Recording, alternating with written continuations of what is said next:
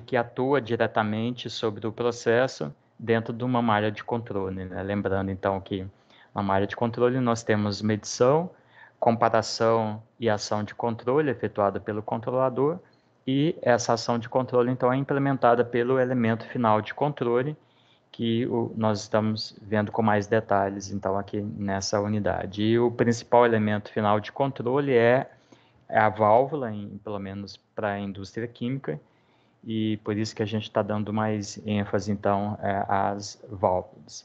Nós é, falamos a respeito das partes que constituem é, uma válvula, descrevemos as diversas partes, e também apresentamos as características de, de uma válvula, como, por exemplo, ar para abrir, ar para fechar, e as características de vazão é, a, da abertura da válvula em relação à sua linearidade ou não, não linearidade.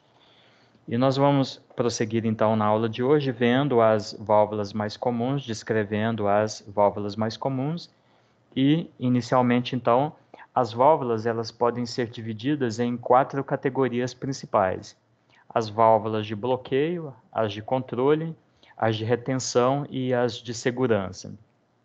Cada um desses, cada uma dessas quatro categorias com funções distintas. Né? As válvulas de, de bloqueio têm como objetivo, como o próprio nome diz, interromper o escoamento ou, ou o fluxo e geralmente trabalham então ou na posição completamente aberta ou completamente fechada, né? São do tipo on-off, né? E as três principais, os três principais tipos de válvulas de bloqueio são as válvulas de gaveta, solenoide e a marcha. Já as válvulas de controle, como o próprio nome diz, né, elas são destinadas a atuarem dentro de uma malha de controle. E nós temos quatro representantes principais, a válvula do tipo globo, diafragma, borboleta e agulha. As válvulas de retenção, elas têm como objetivo impedir o retorno do escoamento ou do fluxo, ou fazer com que o escoamento ou fluxo se dê apenas num sentido. Isso é bastante importante do ponto de vista de é, qualidade de processo e também, do ponto de, no certo modo, de um ponto de vista de segurança. A qualidade impedindo, por exemplo, que uma solução de limpeza que passou através de uma tubulação, que é, ao término do, do, seu escoamento, ela se retor ela retorne, então, misturando com matérias-primas e com produtos. Isso é muito comum é, na indústria de alimentos, periodicamente passar soluções de limpeza, soluções é, antissépticas, etc., numa tubulação, e é, as válvulas, por exemplo, de retenção têm importante objetivo de impedir que essas soluções, que não são nem matéria-prima nem produto, né, entrem em contato com essas duas classes de produtos. E o quarto grupo que nós temos são as válvulas de segurança propriamente ditas, que atuam geralmente impedindo uma sobrecarga de pressão. Então, é, atuam principalmente em vasos pressurizados por exemplo, uma caldeira, e elas têm a função de que se a pressão subir a um nível muito crítico, elas abrem automaticamente. Semelhante ao que a gente tem numa panela de pressão. Né? Uma panela de pressão, quando a gente a coloca no fogo, em que se faz vapor né, pela, é, é, pela ebulição da água, quando a pressão dentro da panela atinge um determinado valor, a própria pressão do vapor empurra a válvula e há um certo escape de, de vapor. Né? Isso seria um, um, tipo de válvula de segurança, aquela que a gente tem numa panela de pressão. Vamos ver um pouco mais em detalhes as principais válvulas com a função de controle, né? Desses quatro grupos aqui, o mais importante para a gente aqui nessa disciplina são as válvulas que atuam com a função de controle e que a gente vai dar uma ênfase um pouco mais nelas. Aqui aparecem mais alguns tipos que podem ser divididos em dois, conforme nós vimos lá no início da, da aula da semana passada, que nós temos válvulas com a chamada arte linear, é, em que o corpo da válvula recebe então aqui o obturador e o obturador desloca-se no sentido então linear, de cima para baixo. E nós temos esses três tipos aqui que são os principais representantes desse primeiro tipo de válvula. E as válvulas de haste rotatória, nas quais, então, o corpo da válvula recebe o obturador e esse obturador, ao invés dele deslocar linearmente, ele gira, então abrindo ou fechando a passagem do fluido e aqui nós temos as, os principais tipos que a gente vai detalhar um pouco aqui na sequência. Então a válvula de gaveta, que é uma representante válvula do tipo linear, por quê? Porque na válvula de gaveta, então a gente tem ó, que a haste realiza esse movimento de subida e de descida e ao subir ou descer, então, nós teremos a, essa parte interna aqui da, que entra em contato com o fluido, possibilitando que mais escoamento ou menos escoamento se dê, então, através da tubulação. E aqui a gente tem a vista axial, a vista como se a gente tivesse, é, aliás, a vista transversal, né? Nós estamos olhando em paralelo à tubulação. A gente está caminhando aqui em paralelo à tubulação e está enxergando a válvula a, na direção transversal. Então, aqui a válvula está completamente fechada, a válvula de gaveta, e aqui ela está completamente aberta. E a gente pode perceber que na, ela estando completamente aberta, a perda de carga é muito pequena, que ela praticamente permite todo o orifício da tubulação ficar exposto. E é uma válvula, então, que ela geralmente é utilizada para finalidades de abertura completa e fechamento completo, então, geralmente usada na, em controles on-off, né, liga-desliga. É um tipo de válvula bastante comum. É, a queda de pressão é muito pequena, se não desprezível, quando ela está completamente aberta, e ela é utilizada em todos os tipos de serviços ou situações para fluidos, fluido é, sendo somente um líquido ou um líquido com pequenos sólidos em suspensão ou com uma quantia maior de sólidos em suspensão, ela não tem restrição para tipo esse tipo de fluido.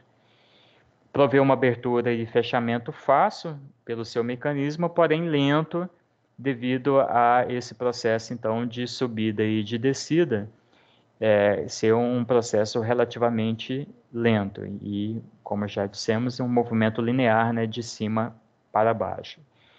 E na representação no P&I, nós temos, então, todos esses aqui são possíveis símbolos para a válvula gaveta. O nome em inglês dela é gate valve, né? É pouquinho diferente, né? Válvula de, de comporta, né? Alguma coisa assim, que seria a tradução literal.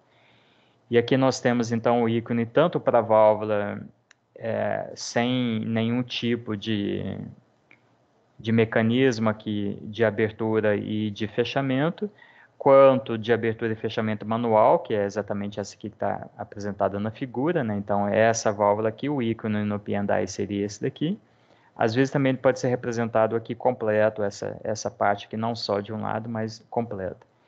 Aqui já seria uma válvula de gaveta com acionador pneumático, aqui elétrico e hidráulico, e aqui uma válvula é, de gaveta para fins de amostragem, para retirada de amostra. Então, são é, três e três, seis ícones diferentes, todos para válvulas de gaveta, dependendo do tipo da válvula de gaveta, para ser representado no, no P&I. Antes da gente passar para o próximo tipo, que vai ser a válvula globo, então a gente vai ver um pequeno vídeo que mostra para gente essa válvula de gaveta em mais detalhes. É um videozinho bastante interessante porque mostra o processo da gente desmontar a, a válvula.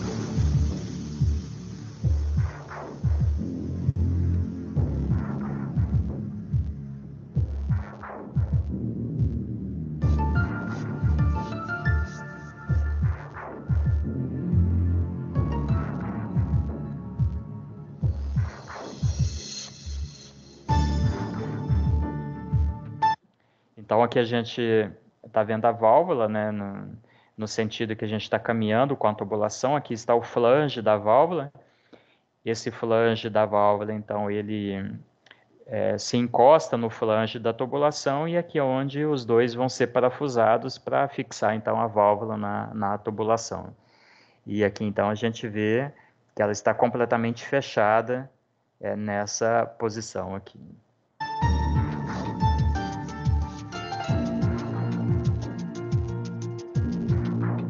Esse é o corpo da válvula. Esses são anéis de vedação.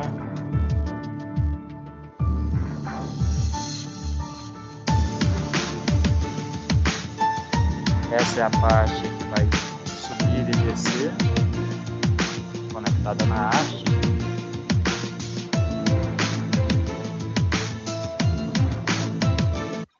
Gachetas, as gachetas também têm a finalidade de prevenir vazamentos, são materiais geralmente poliméricos que é, têm essa finalidade então de fazer o, o, o contato entre duas partes metálicas, é, selando esse contato e impedindo vazamentos.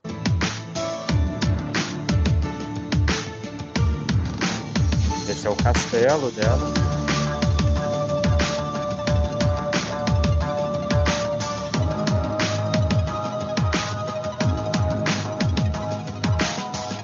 vários pequenos acessórios que são mostrados ao longo do vídeo, do vídeo que tem essa finalidade, tem a finalidade é, geralmente de permitir uma melhor conexão, impedir vazamentos e é, fazer a, alinhar o, as partes móveis, fazer com que elas se movimentem sem jogo.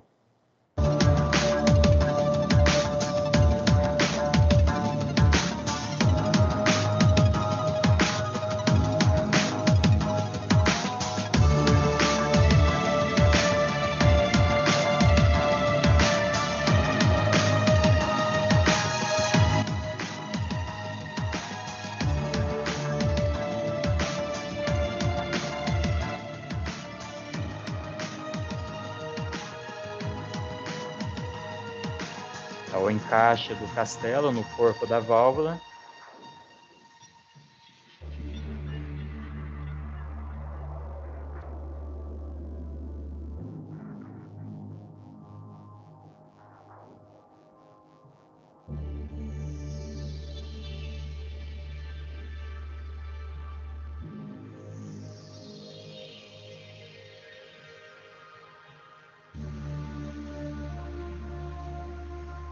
Finalmente o volante, nesse caso uma válvula manual, né, de abertura e fechamento manual.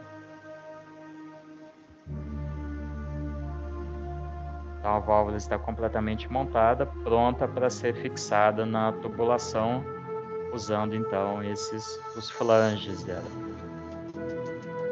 Ela está completamente fechada nessa situação e completamente aberta.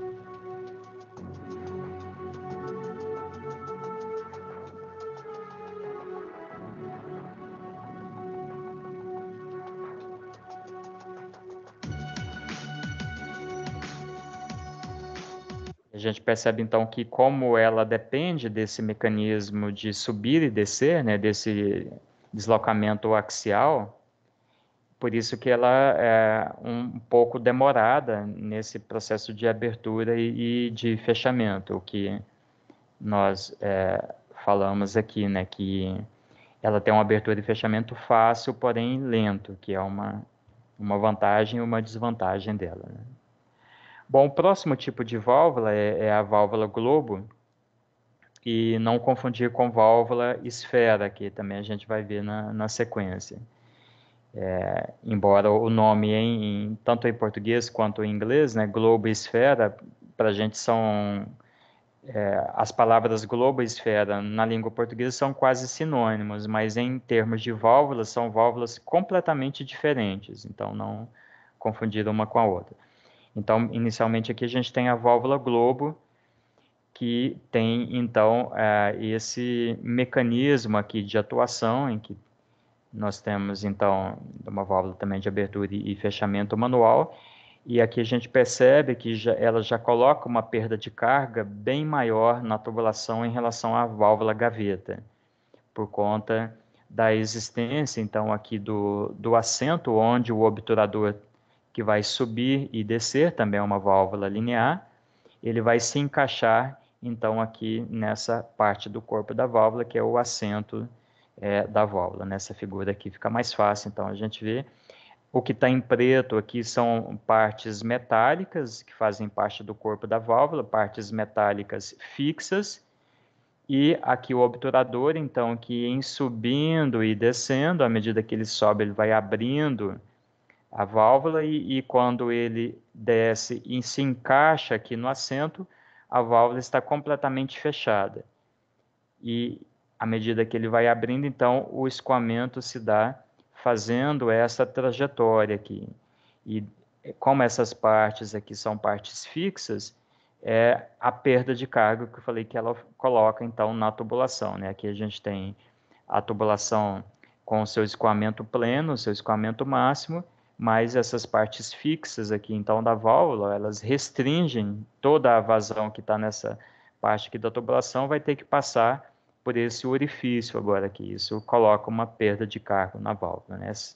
E aqui nós temos a descrição das principais partes dessa válvula, né? Então, aqui, por exemplo, o corpo, né, que é essa parte aqui, as vias é, ou conexões aqui, a sede, né, que é, ou assento, que é onde o, obturador aqui vai, vai se encaixar, o volante, o castelo, gachetas, né, que são é, dispositivos aqui de vedação, porca de vedação, o fluxo do, do fluido, né, o escoamento do fluido quando a válvula está completamente aberta, e aqui mostrando em 11 aqui, que é essa linhazinha aqui um pouco mais clara, a posição do obturador com a válvula completamente fechada.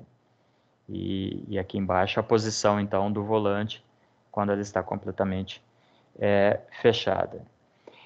Essa válvula, a válvula Globo, é a que tem maior uso na indústria e ela é uma, uma válvula de controle, como a gente tinha visto aqui é, anteriormente, né, uma válvula de controle do tipo linear. O, a origem do, do termo, né, por que, que ela chama de, de válvula globo? é devido à forma aqui do seu obturador, junto com o, o, corpo da válvula aqui, que é aproximadamente esférica, mas não é completamente esférica, como a gente pode ver é, bem claro aqui nessa é, figura. Ela é usada para iniciar, para parar e para regular a vazão de um fluido, então ela, ela opera em, em todas as faixas aí requer controle da vazão e prevenção de vazamentos, pela existência de muitas partes móveis que ela tem, né? então aqui o uso, por exemplo, das gachetas, e a, o encaixe aqui do obturador com a sede, ele pode se tornar deficiente quando essa sede aqui está com a presença, por exemplo, de incrustações ou está oxidada, né? geralmente na oxidação vai formando um material esponjoso, né, o material metálico vai ficando esponjoso, isso pode fazer então que a vedação aqui não seja perfeita. E comparado com a válvula do tipo gaveta, é uma válvula já um pouco mais cara, devido a ser uma válvula mais sofisticada em termos do seu mecanismo de funcionamento. E do igual, igual modo, a, a válvula gaveta que tinha vários ícones, né? esses então são os ícones da válvula globo, então percebam que em todos eles, né, exceto é, nesses daqui, nos quatro primeiros aqui, todos eles, exceto quatro, né, na verdade metade deles tem esse ponto é, cheio aqui, quando está na atuação então de válvula numa tubulação linear, Aqui a gente percebe que a tubulação está fazendo um ângulo de 90 graus e aqui é uma válvula do tipo agulha, uma válvula globo, mas é, do tipo agulha, que é uma válvula globo especial para controle muito preciso, principalmente de gases. E nessas quatro primeiras aqui, então, é, com abertura e fechamento pneumático, motorizado ou hidráulico, e aqui manual. Se a gente comparar com o ícone da válvula de gaveta, então o símbolo mais simples que a gente tem é a válvula gaveta, a globo já fica com esse, já tem esse ponto aqui no, no meio. Aqui está uma válvula globo em funcionamento, numa tubulação, também conectada à tubulação através de flanges. Aqui a gente vê o flange da válvula, parafusado aqui no, no flange, é, no, um pequeno pedaço da tubulação aqui que tem dois flanges também, e aqui conectado no flange da tubulação propriamente dita. Uma válvula globo, então, com a atuação pneumática de movimento, então, de atuação pneumática, que como a gente pode perceber pela, pela figura aqui. E antes da gente passar para a válvula esfera, que é, é a irmã da válvula globo, vamos ver também um pequeno vídeo mostrando a, a válvula globo.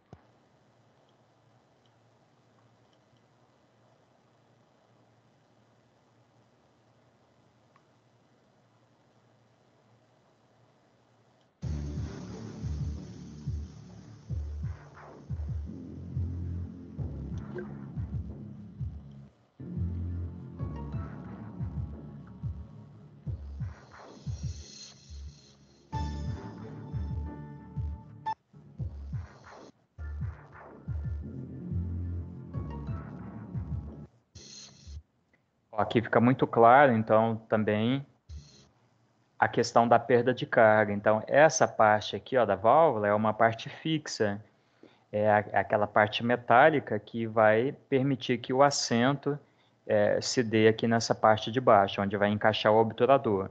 Então, essa parte aqui, mesmo a válvula estando completamente aberta, que é esse, é, aqui não dá para saber se está completamente aberta ou fechada, que para isso a gente teve que olhar na direção de baixo aqui para ver se o obturador está aqui encostado no assento ou não. Mas é, dá, bem, dá para a gente perceber então que é mesmo na situação, vamos supor que se ela tivesse completamente aberta, o fluido vai enxergar sempre isso aqui como obstáculo. Então, o escoamento que estaria dando em toda a tubulação ó, com esse diâmetro aqui, quando chega na válvula, ele vai ter que se dar apenas nessa parte aqui. Ó. Então, a válvula insere essa restrição grande aqui no escoamento.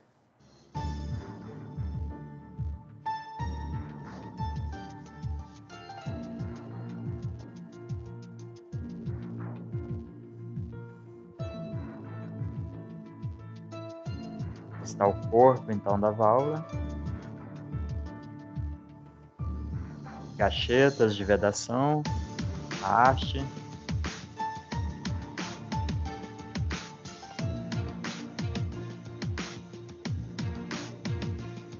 Esse é o obturador dela.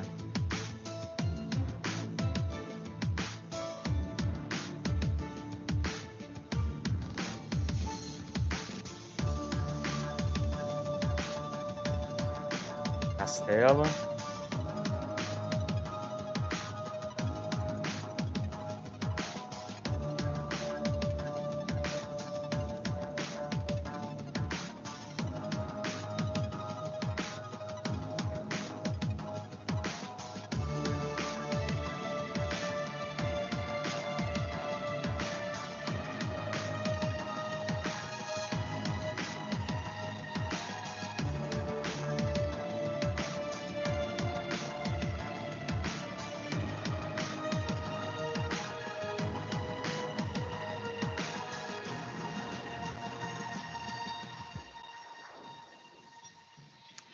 Uma válvula manual, então o volante.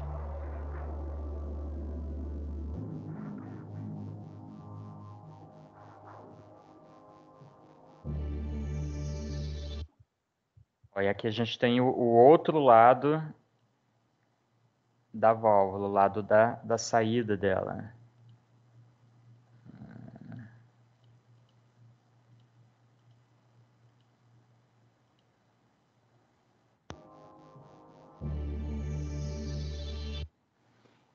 No qual a gente pode ver aqui ó, que o obturador está completamente encaixado no assento. Então, à medida que ele vai subindo ou descendo, então, ele desce até um ponto, que seria até a metade aqui do diâmetro, onde está localizado o, o assento do obturador. Aqui está na posição, então, completamente fechada.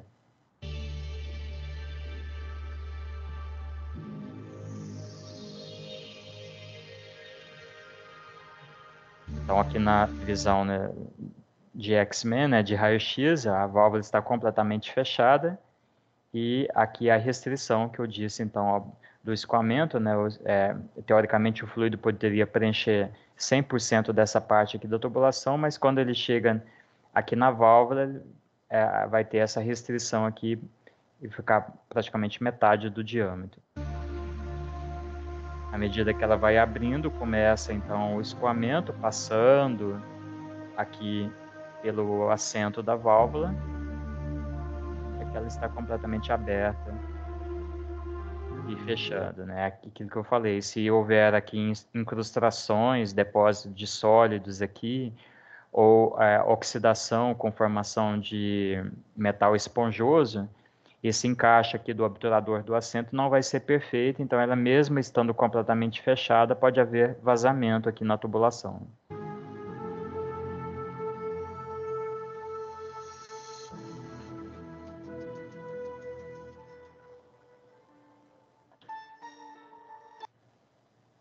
Então, essa é a válvula globo. O tipo seguinte que a gente tem é a válvula de esfera, que ao contrário da válvula globo, que tem um plug que não é completamente esférico, né, mas lembra um pouco a esfera e tem movimento linear, agora a válvula de esfera ela vai ter um, um movimento rotativo. E essa parte que seria equivalente ao obturador é praticamente uma esfera, só que uma esfera vazada. Então aqui a gente está vendo uma válvula que ela está completamente aberta. Por quê? Porque essa parte aqui então é que se insere aqui dentro do corpo da válvula e ela gira nesse sentido, um, um, um sentido rotativo. Então quando essa parte aqui vazada da esfera está alinhada com a tubulação, a gente tem que ela está completamente aberta, e quando ela gira 90 graus, daí essa parte cega aqui da válvula é que fica é, alinhada com a tubulação, em, que ela está então completamente fechada. E, e, em posições intermediárias, então a gente tem é, escoamento parcial é uma válvula também bastante utilizada na indústria e também de utilização doméstica. Esse é um tipo de válvula bastante usado em, em jardins, por exemplo, é, ou é, também é, em, em, outras partes da, da casa, mas principalmente em, em, partes externas, em que a gente tem essa posição, então, aqui que ela está completamente aberta, que é justamente essa aqui, né? A parte vazada está alinhada com a tubulação, e quando a gente gira aqui para 90 graus, completamente fechada e, e ângulos entre 0 e 90 graus, então uma situação semi-aberta ou semi-fechada. Para ela sair da posição de 100% aberta e 100% fechada, a gente tem um movimento de rotação de um quarto, né, 90 graus. Usa um disco na forma de bola para parar ou iniciar o escoamento.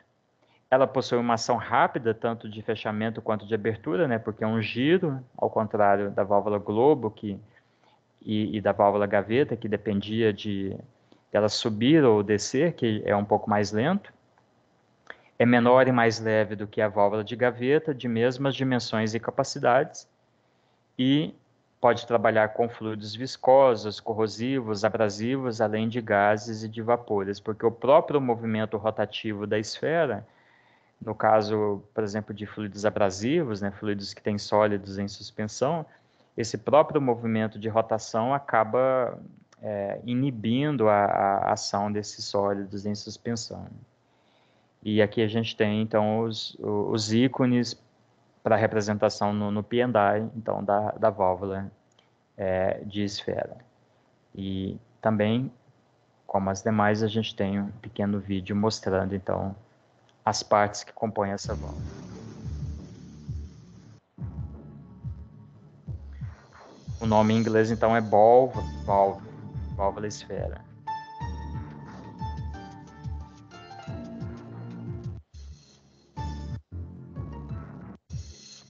Então a gente tem um, uma situação que ela está completamente fechada, ou seja, a gente está vendo a parte não vazada, a parte cega da esfera. Então, 100% fechada.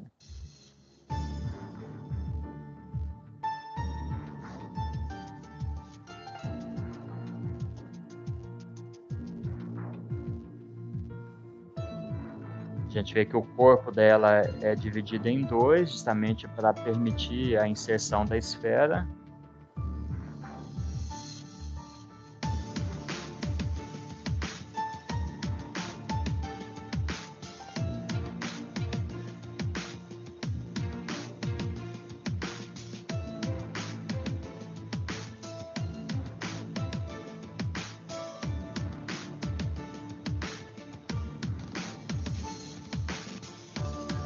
Da válvula globo, que o assento era colocado na posição horizontal, na válvula esfera, o assento dela é na posição vertical.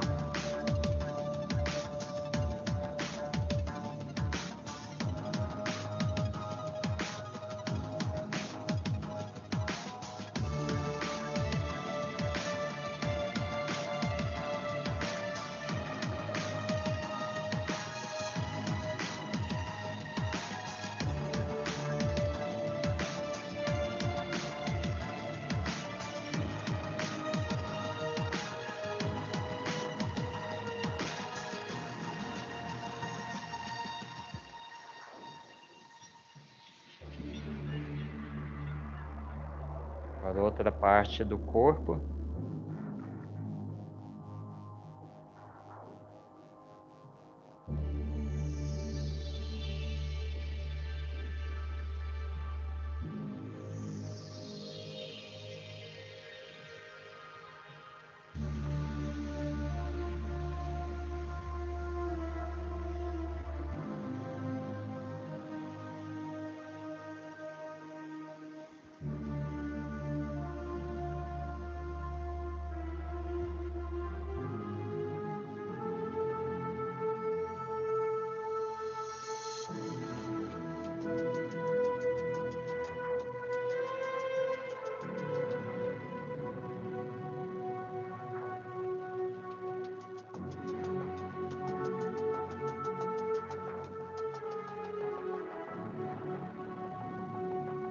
Finalmente o mecanismo de acionamento da válvula.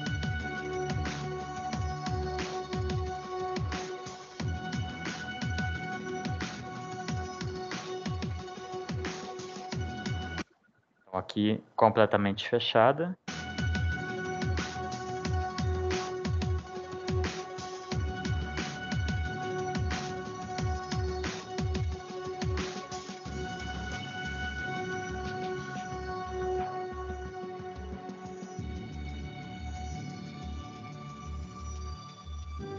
Começa a abrir completamente aberta. E aqui podemos ver também que nesse caso aqui, semelhante à válvula gaveta, a perda de carga na tubulação é muito pequena.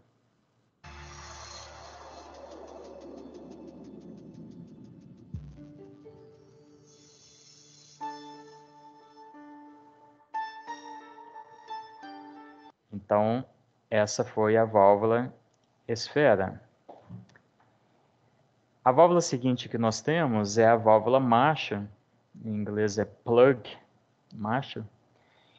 É uma válvula que lembra um pouco o mecanismo de funcionamento da válvula esfera, né? aliás, é até bastante semelhante.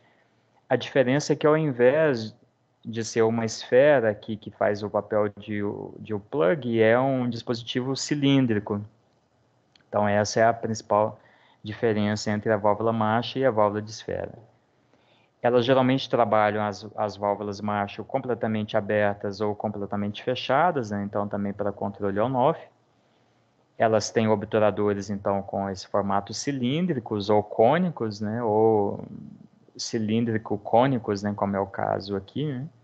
de uma pequena diferença de diâmetro inferior e superior e também elas são giradas no interior aqui do corpo da válvula, numa rotação é, de um quarto de volta para controlar o escoamento.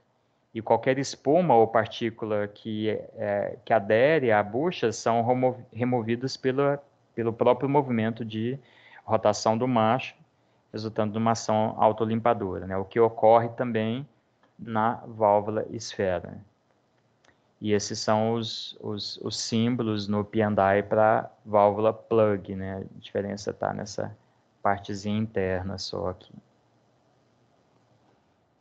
Essa não temos vídeo para ela, a válvula plug.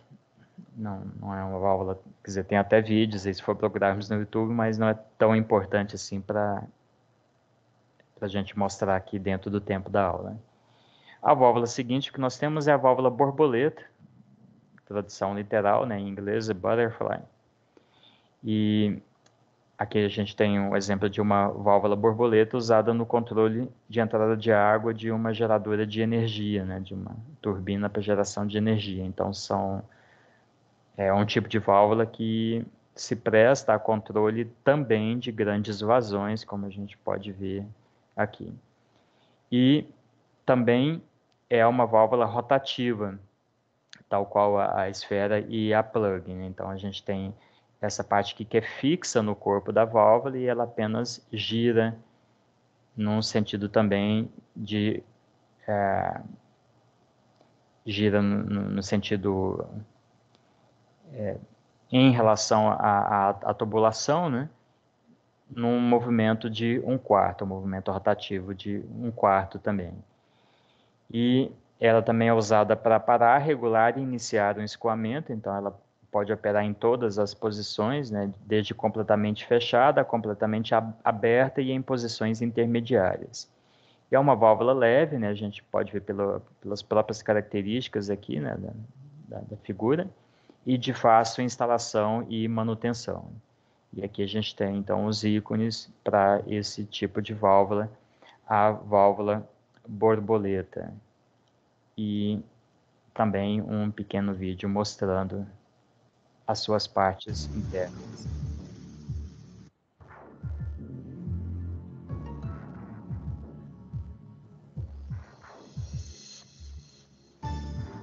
Como dá para a gente ver, né, pela, pela figura, né, uma válvula bastante compacta,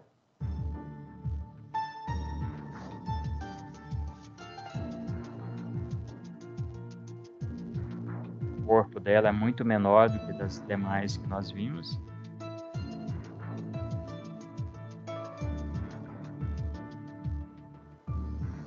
O assento também na direção é, vertical.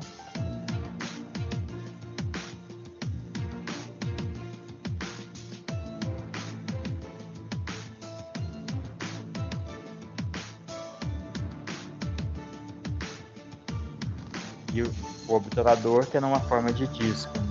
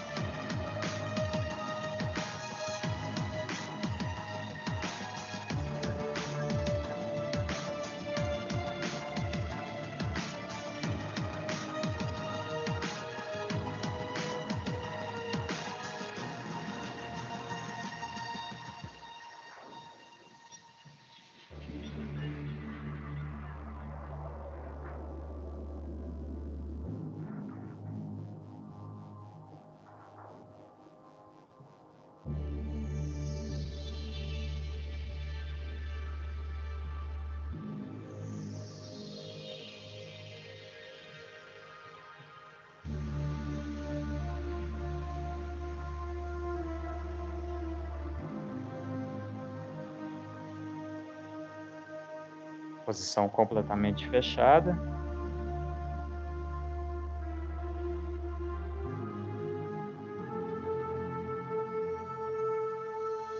Essa utilizando um atuador elétrico.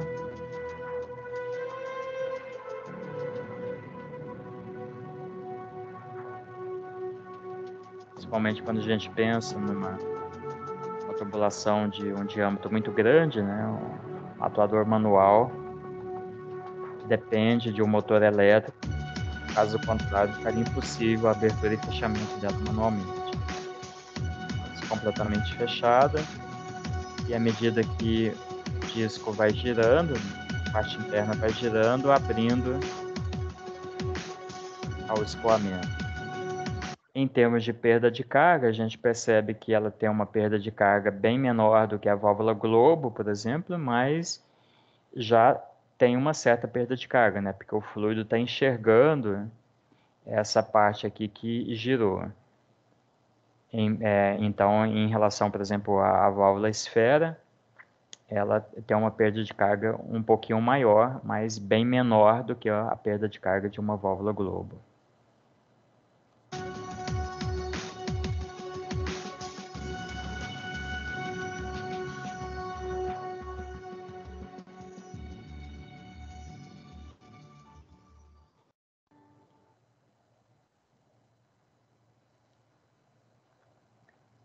Próximo tipo de válvula que nós temos é a válvula de diafragma, em que a principal característica dela é ter a presença então desse material sintético, aqui geralmente um material polimérico, que é um diafragma, fazendo então com que o obturador dela não entre em contato direto com o fluido. Aqui então é a parte que o fluido da tubulação vai escoar.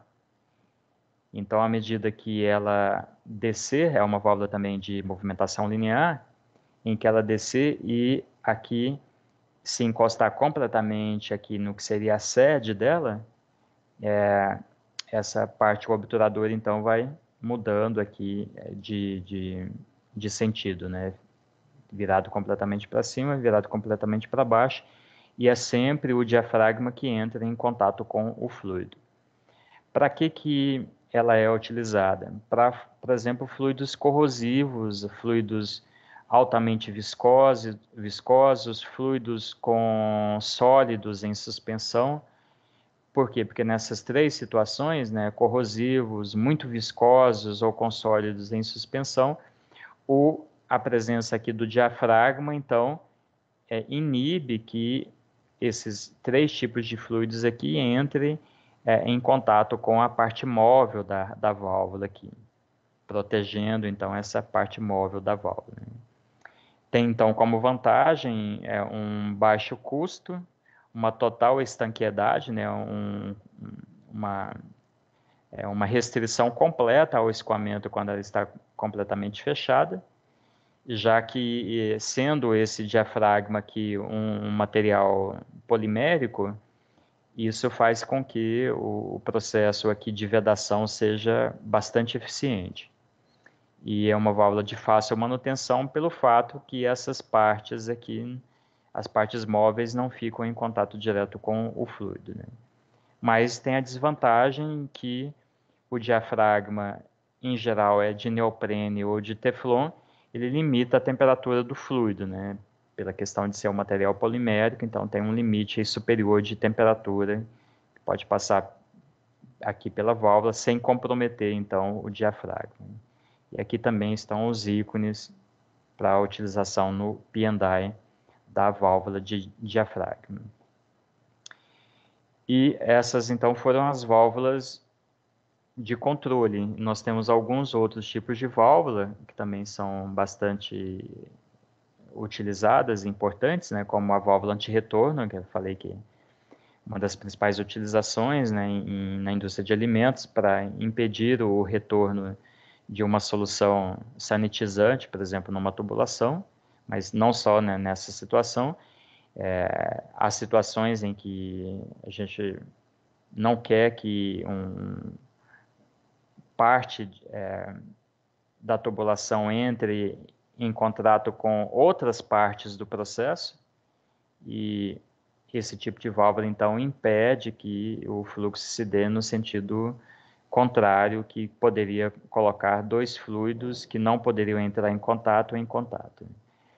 Então é um é um tipo de válvula relativamente simples, nada mais é do que um tipo de portinhola, né? Aquelas que a gente usa para controlar a entrada e saída de pets em casa, que a gente vê em filmes norte-americanos, em que a gente tem então uma portinhola que é fixada na parte superior aqui, e o próprio fluido empurra então esse, essa parte aqui da, da, da válvula, né, o disco da válvula, fazendo com que ela abra. E se o fluido tentar retornar, o próprio movimento de retorno do fluido faz com que o disco se encaixe aqui no assento e ela se fecha. Então, por isso que ela chamava de uma válvula anti-retorno, né, para impedir o retorno. Então, a função dela é evitar a inversão da vazão ou do escoamento né, em tubulação, e ela abre só no sentido de escoamento da, da tubulação e fecha automaticamente se a, a direção da vazão se inverter. Né? E o, na representação do P&I a gente vê é, aqui que está expressando exatamente isso, né? E, e em inglês é, é, check valve, né? Válvula de seria tradução literal válvula de checagem, mas em português a gente traduz, traduz como válvula anti-retorno. Um outro tipo de válvula que a gente tem, que também não é válvula de controle para fins de controle em malha de controle, mas é uma válvula de controle. Se a gente pensar na pressão de um, uma, de um equipamento que, que pode é, sofrer uma sobrecarga de pressão, como por exemplo uma caldeira, são as válvulas de segurança. Então, aqui, quando a gente fala que ela é uma válvula de controle, porque ela alivia a pressão, mas não é no sentido de, de controle em estar numa malha de controle. Por quê? Porque ela é uma válvula que faz o controle da pressão, mas ela não está dentro de uma malha de pressão. Então, a rigor, ela não é uma válvula de controle. A gente chama válvula de controle aquelas válvulas que estão dentro de uma malha de controle. Daí, o mais correto é chamar então de uma válvula de segurança ou válvula de alívio. A gente chama válvula de segurança quando a função dela é fazer a, a, a segurança de um, um equipamento de um tanque de armazenamento de gás e uma válvula de alívio quando é de armazenamento de líquido. E em inglês, então, vai ser safety valve, no caso de gases, e relief valve, no caso de alívio de líquidos. É, aqui a gente tem a, a, uma, uma, figura né, mostrando a parte interna da válvula, e aqui ela já assentada num processo. Então, o que, que nós temos aqui? A gente tem, por exemplo, um, um tanque. Esse tanque ele pode ocorrer uma sobrepressão nele, como, por exemplo, uma caldeira. E o que, que acontece? Ó, se essa pressão aqui no tanque aumentar muito, ela empurra, então, essa parte aqui da válvula, ela contrapõe-se à força da mola aqui, então empurra essa parte aqui da válvula, permitindo com que parte do gás ou do líquido saia aqui por essa parte, aqui por essa tubulação lateral aqui. Exatamente idêntico ao que a gente tem na, na panela de pressão, só que a panela de pressão é um mecanismo muito mais simples, não tem a presença dessa mola aqui, e, e é só a própria força-peso que empurra ali o dispositivo, aquele que gira da panela de pressão para baixo, e quando há uma, uma pressão suficientemente alta na panela, a pressão do vapor equilibra com a, a, força-peso, no caso da panela de pressão, permitindo o escape de, de, dos gases, né? É, no caso o vapor d'água. Então, na, na panela de pressão a gente tem uma válvula de, de segurança. Né? É, e aqui uma, que são representações né, pictóricas, e aqui uma, uma foto real de uma válvula de segurança, então, instalada aqui no equipamento que está aqui embaixo, e aqui em ocorrendo, então, é, em ela fazendo o alívio do fluido aqui que estava ocasionando a, a, o excesso de pressão, esse fluido, então, sai por essa tubulação aqui. Se for um fluido que não, um gás que, ou um vapor que não tem problema em entrar em contato com a atmosfera, né, não for tóxico, não for poluente, etc., vai então para a atmosfera essa tubulação, caso contrário, vai para um tratamento adequado ou para o flare, para ser queimado, né, que é aquela a tocha que a gente tem. É, aqui o, o, ícone, né, a gente já, até já tinha visto lá quando a gente viu os, o, os piandais, né, é, em vários piandais aparecia esse ícone aqui, então isso é uma válvula de segurança ou uma válvula de alívio, né. E a função dela qual é? Proteger tanto uma tubulação quanto o equipamento de um excesso de pressão. ou também de uma, pode ser o contrário, né, de uma pressão muito baixa, daí ela, é, em, em vez de é, fazer o alívio, ela vai permitir a entrada. E a abertura dela é automática por meio desse dispositivo físico que é essa mola aqui. Ela também pode sofrer abertura manual. É, o operador pode usar aqui é, essa haste aqui e fazer a abertura manual dela se desejar fazer esse alívio é, numa pressão ainda inferior àquela de abertura automática dela. E, portanto, ela não é usada em, em malhas de controle automático pelos motivos que eu já é, chamei a atenção. E tem um pequeno vídeo que mostra a sua atuação.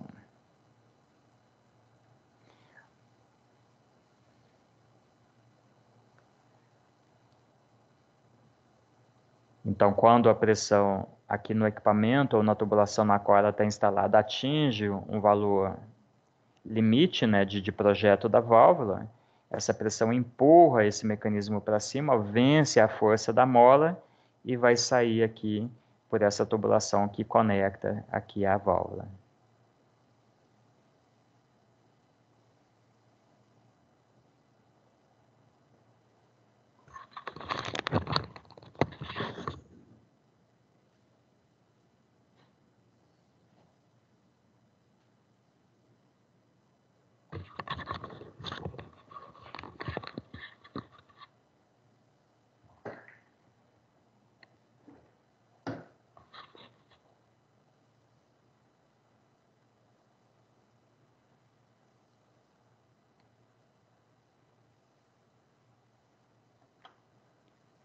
Um dos testes que se faz, inclusive, em caldeira, né, quando se instala uma caldeira nova, é justamente o teste de abertura e fechamento da válvula de segurança.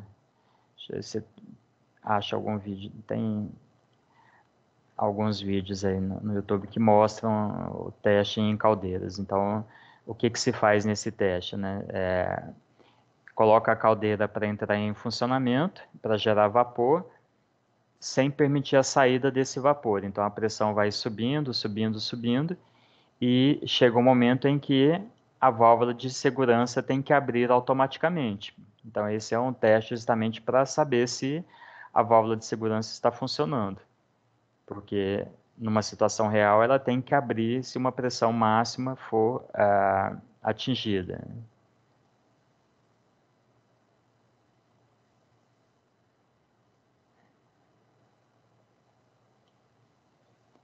E claro que para isso é, tem todo um protocolo, é, as pessoas não, têm um determinado limite de circulação de pessoas, etc., porque se a válvula não funcionar, um risco que se tem é da, da do material que é de fabricação da caldeira se romper, né, a caldeira explodir. Né?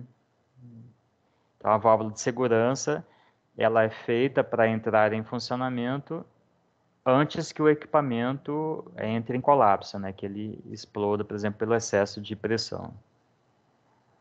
Ah...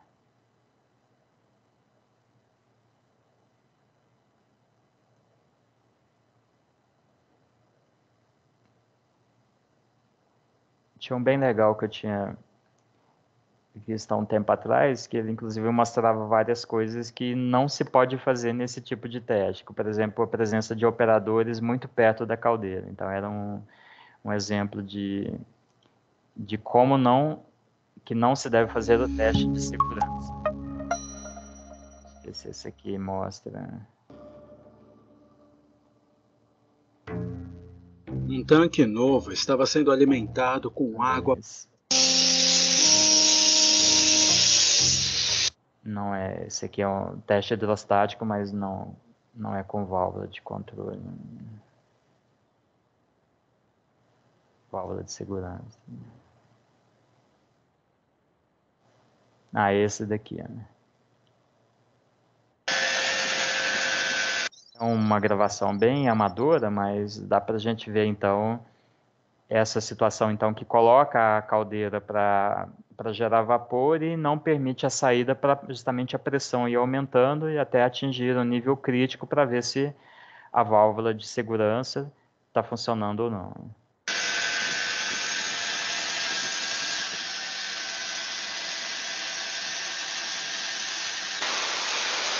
É o momento então que ocorreu a, o acionamento da válvula de segurança. Né?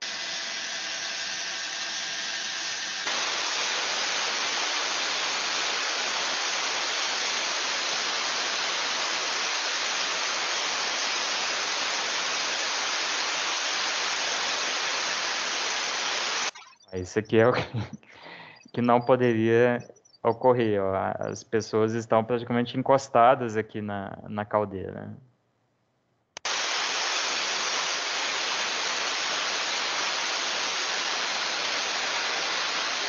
Isso não é fumaça, é vapor d'água, né, que está sendo descarregado.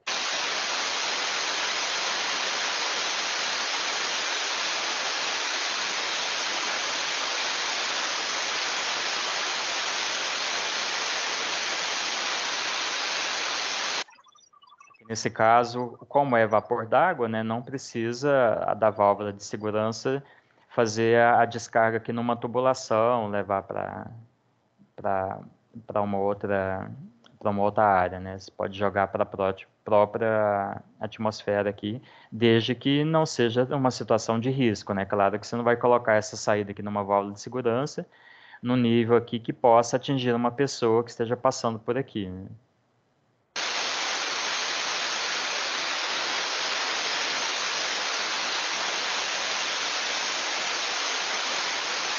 Isso faz um barulho muito grande, né?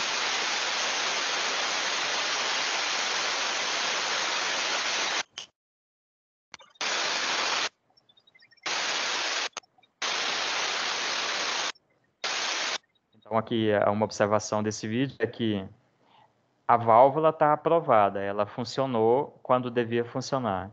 Mas em termos aqui de normas de segurança, esse teste está completamente reprovado, porque ele vai contra todas as normas de segurança de teste de estanqueidade de, de caldeiras, né?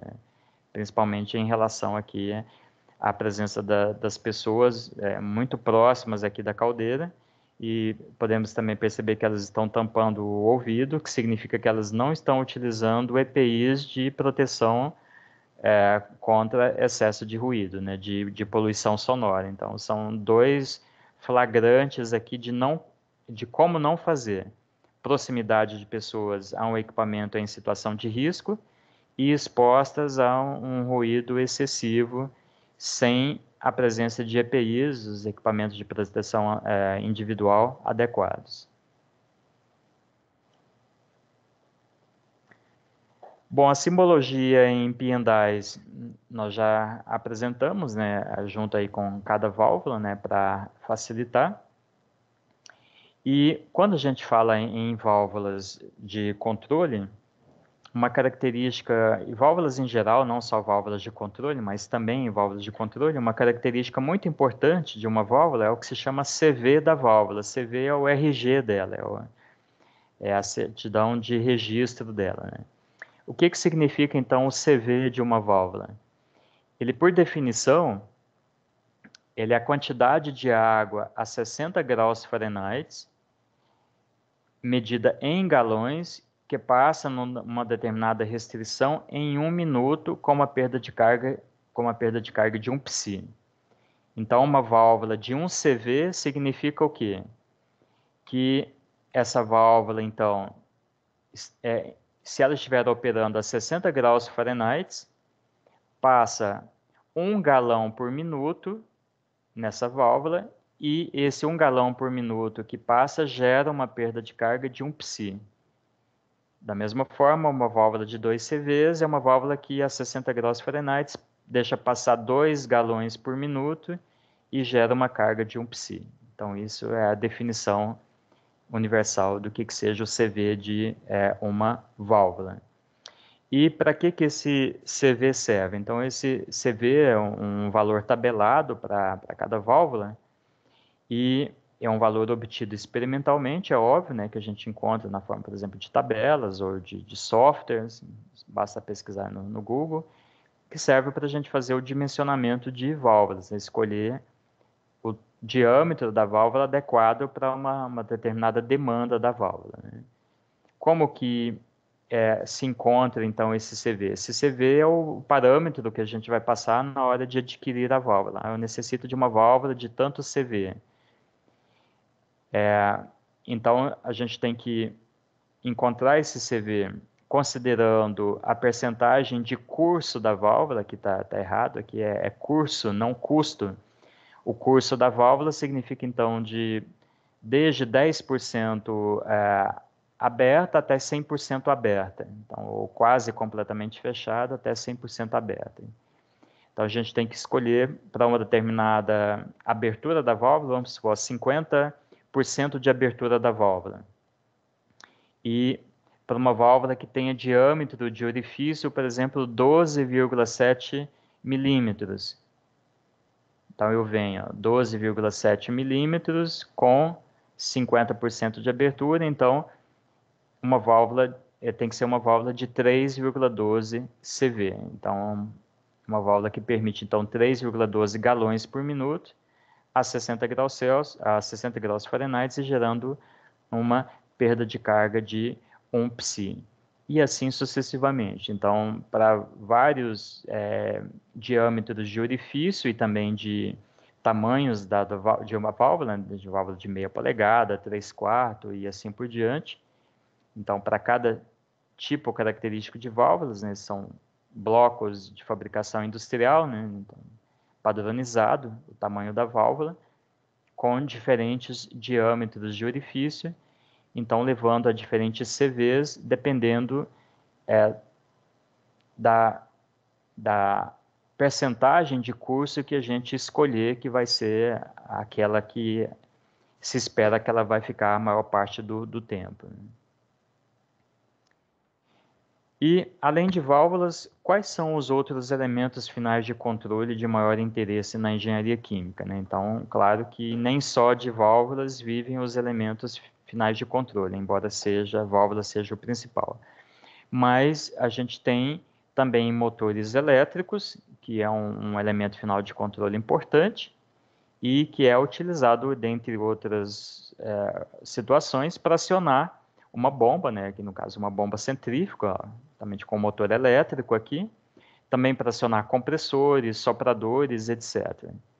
Então, uma bomba é um, um mecanismo instalado numa tubulação para imprimir pressão num, num líquido e para isso então ela, ela depende de um mecanismo giratório, de um rotor que gira na sua parte interna e esse rotor é acionado, por exemplo, por um motor elétrico, fazendo com que é, esse rotor aqui pode girar com uma rotação maior ou menor e quem vai fazer isso então vai ser o motor elétrico. Então o motor elétrico vai receber o sinal do controlador que vai então enviar o sinal para ele para fazer com que ele então gire mais rápido ou mais devagar, fazendo com que a pressão que está adicionada então aqui ao fluido seja maior ou menor, dependendo da rotação então do motor elétrico aqui. Então por, por isso que o motor elétrico é um elemento final de controle. Também uma válvula solenoide é um elemento final de controle, é uma válvula tão específica que ela está fora do, do conjunto das válvulas que a gente viu. Porque ela é uma válvula geralmente de dimensão bem menor do que as de utilização industrial. O mecanismo dela é a presença de um eletroímã, esse eletroímã, então, ele pode estar energizado ou não, e a depender, então, ele estando energizado ou não, ele, ah, ele estando energizado, por exemplo, forma então um campo magnético e ele atrai para a parte superior aqui o diafragma ou pistão, ele não estando energizado, o pistão desce. Então é uma válvula do tipo liga-desliga ou on-off. Os dampers, que são mecanismos de controle de vazão de ar, também é um elemento final de controle, né? dependendo se ele estiver mais aberto ou fechado, né? tipo uma veneziana, a gente tem então através aqui desse mecanismo que recebe o sinal aqui do controlador, permitindo com que a, a passagem de ar aqui seja maior ou menor, ar que pode, por exemplo, alimentar um, é, o mecanismo de queima, por exemplo, de uma caldeira ou, ou em outra utilização qualquer do, do, do ar. E outros elementos finais de controle ainda que a gente pode encontrar, por exemplo, cilindros pneumáticos, cilindros hidráulicos, aí, principalmente em linhas de montagem, contadores e relés né, para é, controle em linhas de produção, servomotores, ventosas, motor de passo, etc. Então, são outros elementos finais de controle que podem também estar dentro de, de malhas de controle. E para nós finalizarmos então essa unidade, vamos ver então o que, que significa o controle por faixa dividida ou controle split range. Por que, que está localizado aqui? Porque está relacionado a controle e está relacionado à presença de dois elementos finais de controle conectados a um único controlador. Então, o que, que se chama controle por faixa dividida ou split range? É a situação em que a gente tem um único controlador e esse controlador envia o sinal de controle para dois elementos finais de controle, com a seguinte característica. É, a válvula, aqui a gente tem então a válvula A e aqui a gente tem a válvula B. Então, uma válvula de pressão, válvula de controle de pressão, né? aqui a gente tem um controlador indicador de pressão, então aqui a gente tem uma medida de pressão aqui nesse equipamento, um separador, e essa pressão então é enviada para esse controlador e esse controlador envia o sinal para essas duas válvulas aqui que regula a vazão nessas duas tubulações, com a finalidade de controlar a pressão aqui nesse equipamento. Se esse controlador aqui falhar, ou essas duas válvulas aqui falharem, permanecerem fechadas e não puderem ser abertas, então a pressão aqui vai aumentar, pode aumentar no nível crítico, por isso que tem essa válvula de segurança localizada aqui em cima, olha o ícone aqui da válvula de segurança. Então aqui é a situação que ela vai entrar em funcionamento se houver falha numa dessas duas aqui. Então o que que acontece? O controlador ele envia o sinal de controle para a válvula A. Essa válvula A pode sair então da posição completamente é, aberta para a situação de completamente fechada.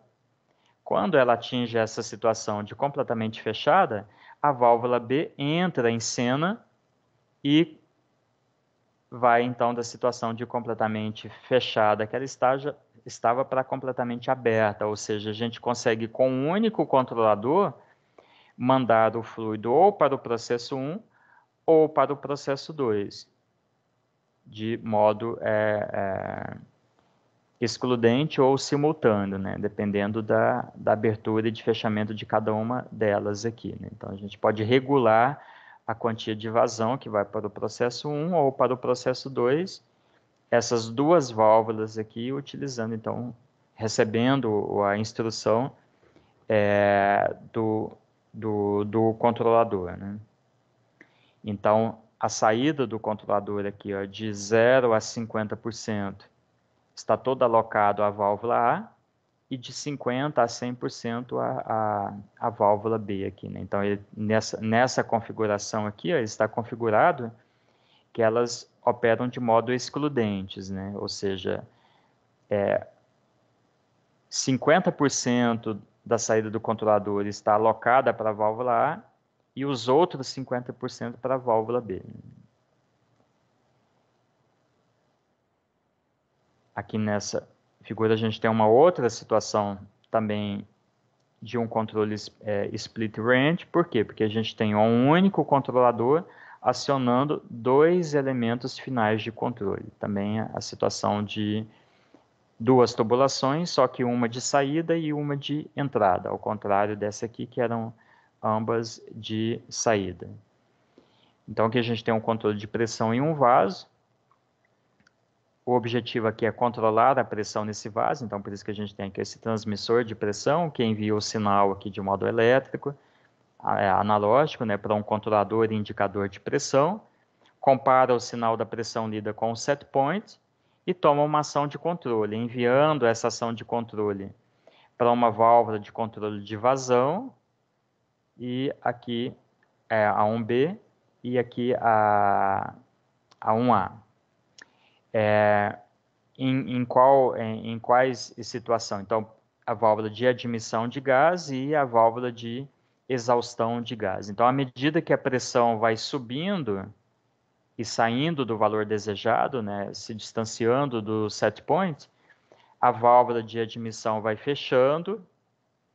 Caso a admissão esteja completamente fechada e a pressão ainda esteja subindo, o que, que acontece? Então, o, o mesmo controlador manda o sinal para a válvula B entrar em atuação, para ela abrir para diminuir a pressão aqui. Então, é, é uma situação então que o controle da pressão não conseguiu ser feito manipulando somente essa vazão aqui de admissão do gás. E daí por isso então também a possibilidade de controlar a vazão de exaustão do gás. Então, único controlador, dois elementos finais de controle, controle por faixa dividida, tradução em português, ou split range, que é o, nome que se dá a essa estratégia de controle, então, em inglês. E aqui um terceiro exemplo de um controle de faixa dividida, ou split range, controlando um, um reator. O objetivo aqui é controlar a, a, temperatura nesse, nesse tanque aqui. E essa temperatura, então, é controlada como? Manipulando duas válvulas, uma válvula de entrada de água de resfriamento, o cooling water, e de vapor de aquecimento. Então, dependendo se a necessidade é aquecer ou resfriar aqui o fluido que está aqui dentro do tanque, então o controlador, então ele me, é, mede-se a temperatura então, aqui nessa parte que é a camisa do tanque aqui, que é uma parte externa aqui, é, já que tanto a água de resfriamento quanto o fluido não entram em contato com o fluido que está dentro do tanque propriamente dito, então aqui é um é encamisamento, e a temperatura então aqui é medida, manda-se o sinal para o controlador, e esse controlador então envia o sinal ou para a válvula de controle da água de resfriamento ou de vapor de modo excludente também. Então, de 0 a 50% da ação do controlador, ele está controlando a válvula de aquecimento e nos outros 50% a válvula de resfriamento.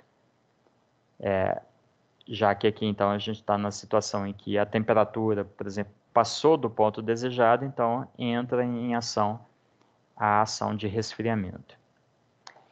Então, assim, a gente encerra esse, essa unidade de elementos finais de controle, né, na qual nós vimos, então, quais são os principais elementos finais de controle.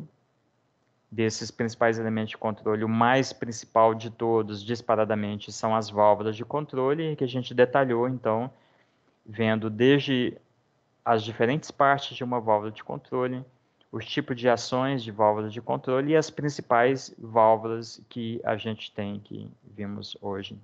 E com essa possibilidade de também dois elementos finais de controle receber a instrução de um único controlador, então no que se chama de controle split range ou de faixa dividida. É isso então, pessoal. Alguma dúvida, alguma pergunta?